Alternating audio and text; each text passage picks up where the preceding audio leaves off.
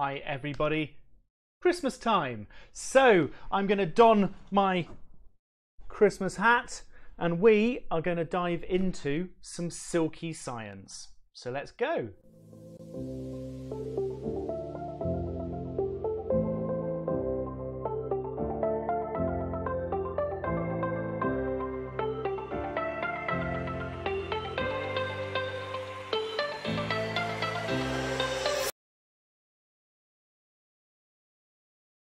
So if I keep this down enough, my bubble doesn't go above the green screen, but at least it adds a little bit of fun because that's what we're going to be having over the next 10 minutes or so. I'm going to inspire you about a bit of silky science. So my name's Chris. I'm a academic at the Material Science and Engineering Department at the University of Sheffield. And what we're going to be talking about today is these things. So you probably have seen them at the bottom of your garden. They may be covered in frost at the moment, but these are spiderwebs. This is one of nature's most impressive materials. And what we're going to be exploring is why is it so impressive? What's the material science behind it? And how is it made? So, silk it's not just made by spiders, it is also made by silkworms, bees, even ants will make silk, and they use this fibre for a range of different purposes outside of their body. So they can be using it for ballooning as spiderlings fly off into the uh, jet stream. They can use it for protection of themselves as they transform into from a from a silkworm to a silk moth. They can use it for catching their dinner uh, spiders creating webs, or they can be using it like bees to protect their young. But because silk has evolved so many times independently in nature, it's been quite difficult for us to say exactly what it is. So we've had to come up with this general definition. Silks being structural proteins different to enzymes that you may have heard of because these do mechanical roles. They are spun into fibers and importantly, they are used outside of the body. So wind, rain, sunshine, they are having to perform, which is very similar to the way in which we use our materials. But the master of spin is the spider. The spider will produce up to seven different types of silk, each from a specialized gland inside it, with each having a very specific role in its web, from the structural silk of the dragline to the swathing silk that it uses to wrap up its prey.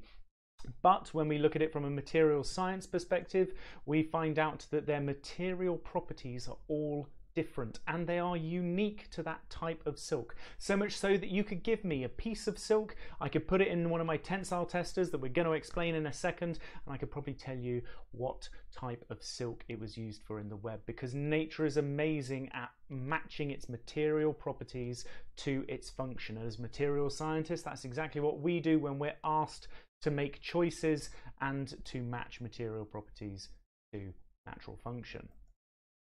Well, how do we go about testing silk? Well, this was filmed a few years ago now for the BBC. This is uh, Jem Stansfield very carefully putting weights onto a single silk fibre, and he got to about three grams before it was just about to break. This is a silk fibre 10 times thinner than a human hair. Look how much it's stretched and then it falls apart. But the type of test that he's doing in this video is essentially applying a force to a fiber and measuring how much it stretches. And that is known as a tensile test. So this is a bit of learning that you're going to be doing today. We're going to tell you the difference between stress and strain. Strain being extensibility, how far something deforms. Stress being strength, so how much force does it require to uh, stretch it that far? How much load or how much weight can hang off it.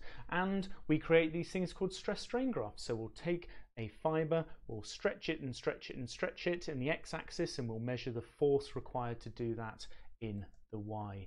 You can have a go at doing this if you want, there's a virtual uh, tensile tester over at Flashy Science that you are more than welcome to have a go at. You take that fiber, you stretch it and stretch it and stretch it, and you get a range of different mechanical properties. And these mechanical properties give you all sorts of useful information about how much energy it can absorb before it breaks, which is toughness, the stiffness of a fiber, which is its initial um, uh, sort of gradient before it yields the breaking point. That's when the fiber finally fails. And you can have a go all of this at flashyscience.com experiments, materials, tensile light if you wanted to have a go yourself at pulling apart things and doing tensile tests at home. But what about the lab? How do we do it in the lab? Well, in the lab, I'm going to give you a bit of a history lesson. So these three things are floppy disks. You can ask your parents. They may remember the uh,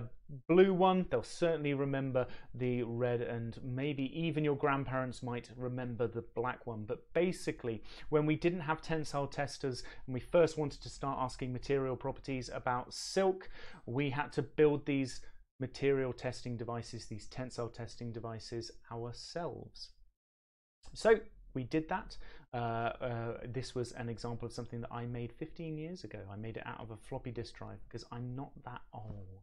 Uh, but the real advances came from a modification a few years earlier than that to the hard disk that you've been waiting for $3,400 for 10 megabytes of storage, one camera phone photo now, and that created a silk testing device of which we know a lot about the amazing properties of spider silk purely because of tests done on that instrument there. Absolutely incredible stuff. And by doing tensile tests, we're able to compare two different types of fibers because stress is normalized for the cross-sectional area, the size of the material that you're testing into it. And when everything's put on a fair and even playing scale, what we playing field, what we see is that wool and silkworm silk, natural fibers are relatively okay, but the really impressive one is Spider Dragline Silk, and that's because it has a combination of strength and toughness that we cannot seem to replicate, which is absolutely incredible.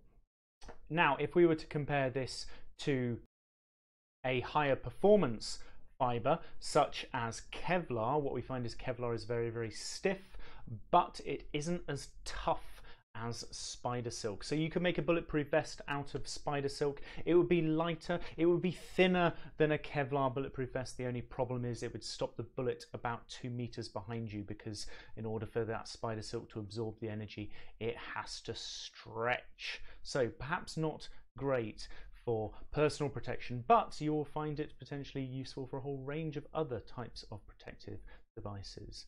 So we know that silk has this amazing combination that material science can't quite uh, copy yet. So I spend a lot of my time looking and trying to understand how do spiders make silk. I stare at them intently and what I actually end up doing is I get to know them. And as I get to know these spiders, I look at their anatomy. And as I look at their anatomy, I get to understand know what's going on inside them.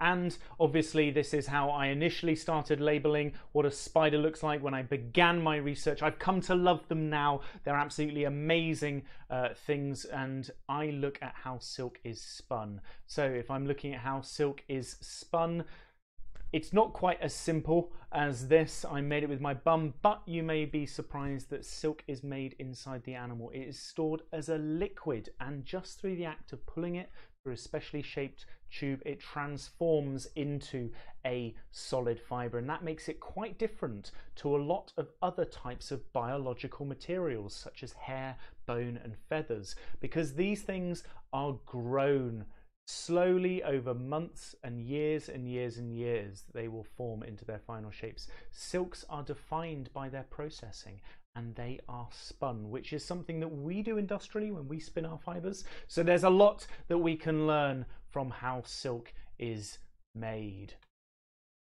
And this is a brilliant example of just how fast uh, silk can be produced on demand. This is a spider actively wrapping up its prey. Milliseconds ago, that was a liquid and it's transformed into a really impressive solid fiber. So if we can learn from that, we can improve the way in which we make our own fibers potentially. But I told you a fib earlier on in this talk, I said that these are the properties of spider silk. Well, what we now know as well is that just by changing the spinning speed, changing the conditions in which this material is processed, it is possible to create a fiber with properties anywhere within this range. So, really, really useful from both a material property and a material processing perspective. So, the next time that you see a spider web at the bottom of your garden, if you're venturing outside at Christmas time, have a look at a spider web and just think it's not just the material itself, but how it's processed that could lead to a lot of future inspiration. So thank you very much